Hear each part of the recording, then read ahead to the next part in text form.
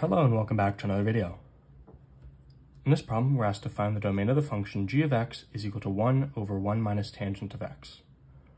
So when looking at this function, the only way we can have an invalid input for x is if the denominator is equal to 0.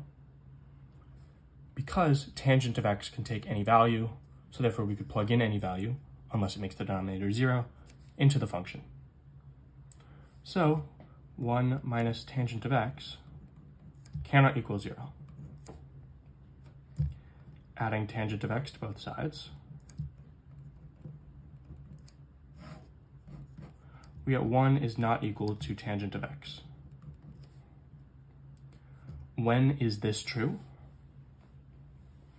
Well, this is true when x is equal to pi over 4 or 5 pi over 4. These are the two values, if you're looking within the 0 to 2 pi range, in which tangent of x is equal to 1. So these are values that cannot occur. However, tangent of x is cyclical. It's periodic. So it is not going to hit these values twice.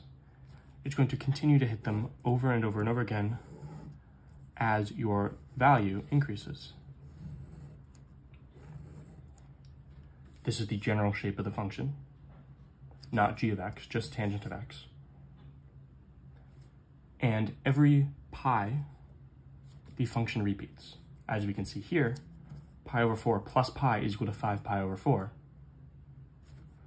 So therefore, x cannot be equal to pi over 4 plus pi k, where k is any integer,